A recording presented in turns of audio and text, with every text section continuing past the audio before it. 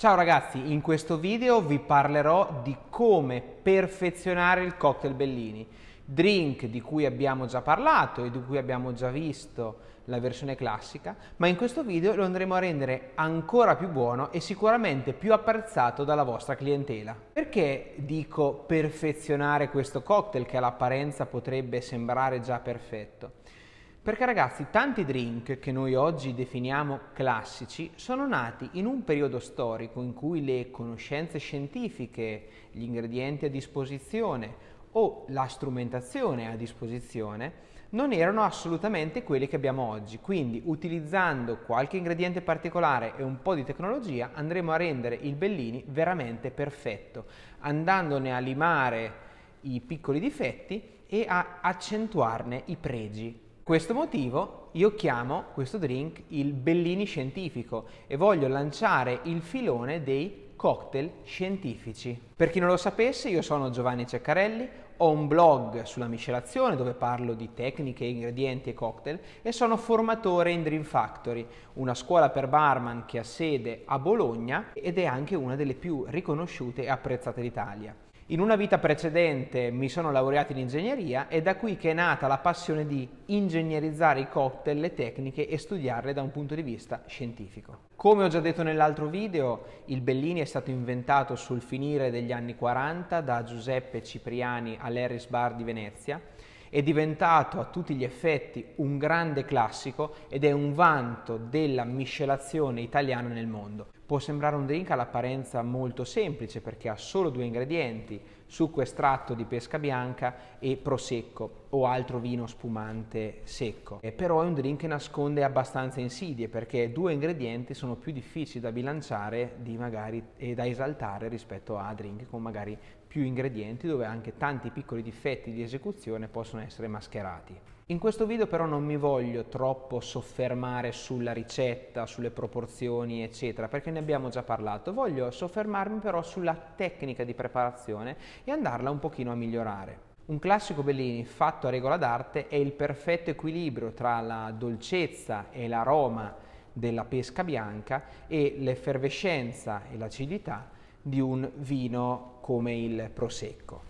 Le altre caratteristiche fondamentali del Bellini sono un colore leggermente rosato dovuto alla buccia della pesca bianca, eh, un'effervescenza presente ma non troppo invasiva e una schiuma persistente. La schiuma è quello che rende veramente eh, fantastico questo drink perché gli va a donare una texture e una consistenza molto molto morbida. Tuttavia questi tre aspetti sono assolutamente migliorabili. Il primo è il colore. Il colore deve rimanere stabile durante la serata. Noi magari andiamo a estrarre il succo di pesca bianca a inizio servizio e quel colore tende un pochino a imbrunire. La prima cosa che andremo a sistemare è questo problema. Il secondo problema è l'effervescenza. Non deve essere né troppa né troppo poca e deve essere ben amalgamata nel drink. Opereremo e lavoreremo sul succo di pesca per fare in modo che l'effervescenza sia perfetta e uniforme. Il terzo problema è la schiuma. Infatti nel Bellini molto spesso la schiuma tende a scomparire rapidamente, con un piccolo accorgimento faremo in modo che la schiuma rimanga più compatta e persistente. Come prima cosa vi serve del succo di pesca bianca estratto in estrattore, andate a lavare molto molto bene le pesche, rimuovete il nocciolo interno ma non rimuovete la buccia, sarà infatti la buccia che andrà a donare questo colore leggermente rosato che sarà la firma di questo drink. Primo segreto per rallentare l'imbrunimento Prima di estrarle tenete le pesche in frigo qualche ora. Le pesche sono un frutto che non va tenuto in frigo perché tra i 2 e i 7 gradi eh, si ha il massimo dei danni da raffreddamento su questo frutto, quindi andrebbero stoccate fuori frigo ma se voi le tenete in frigo qualche ora prima di andarle a estrarre non succede niente e una bassa temperatura del succo ne andrà a rallentare l'imbrunimento. Dopo aver estratto il succo, quello che dovete andare a fare è filtrarlo con una super bag per andare a rimuovere le componenti più grossolane di fibra che possono essere venute giù dall'estrattore. Quindi prendendo una super bag da 200 o addirittura meglio da 100 micron andiamo a filtrare il succo. Dopo aver filtrato il succo, lo andiamo a pesare.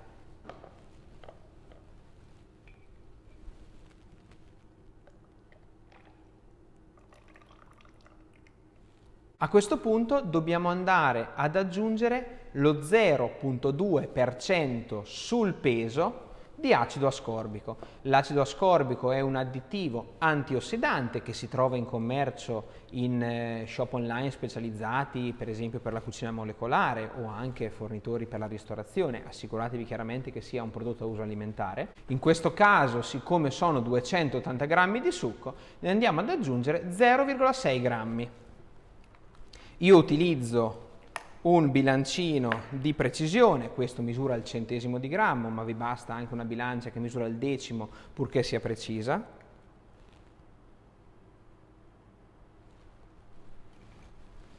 E lo andiamo a versare all'interno.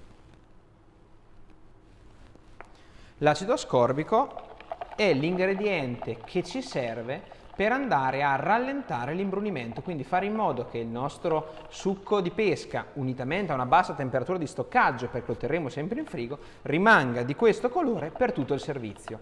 La quantità può essere anche aumentata, ma attenzione a non far diventare poi troppo acido il succo.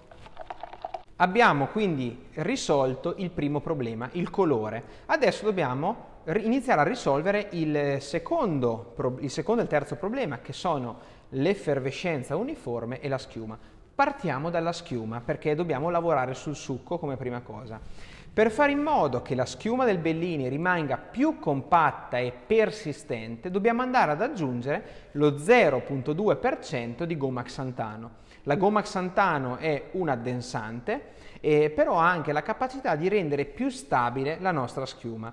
Ne utilizzo sempre lo 0.2% che è una quantità abbastanza bassa perché è un potentissimo addensante, quindi metterne un pochino di più rischia di rendere il nostro succo troppo poco fluido oppure addirittura di gelificarlo completamente, quindi stateci attenti. Anche in questo caso 0.6 grammi circa.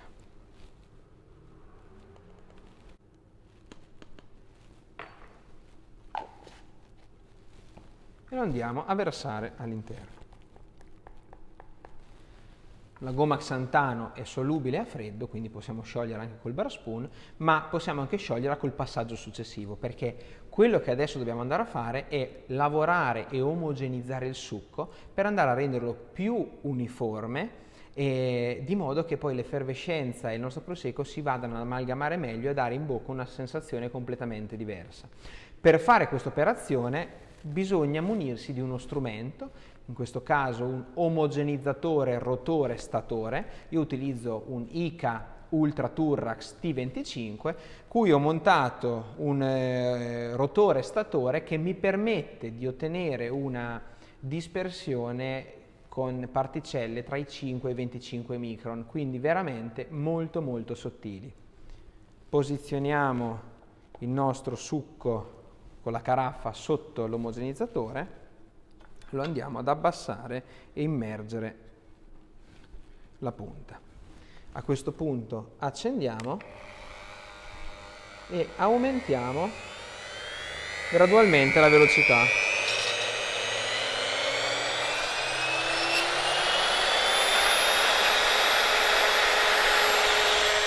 Lo lasciamo agire qualche decina di secondi.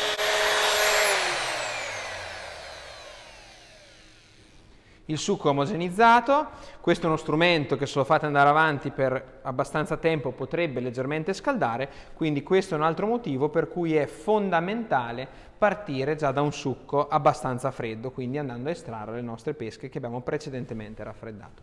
Il succo è pronto, lo travasiamo in uno squeezer e andiamo a preparare il bellini. Cambio di setup, andiamo a preparare il bellini. Come sapete a me piace prepararlo all'interno del gallone, se non lo sapete andate a vedere il video che ho già fatto su questo drink, sulla sua versione classica, lo andiamo a raffreddare bene e all'interno del gallone andiamo a versare 50 millilitri del nostro premix. Chiaramente ragazzi nel gallone potete preparare più di un bellino alla volta, anzi il senso sarebbe proprio quello. E 100-120 millilitri del nostro vino spumante.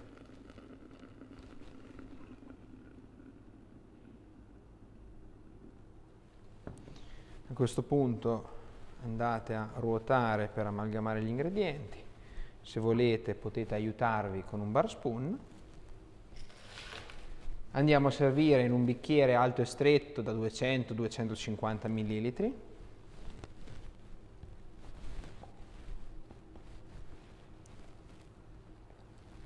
Chiaramente il bicchiere deve essere precedentemente raffreddato.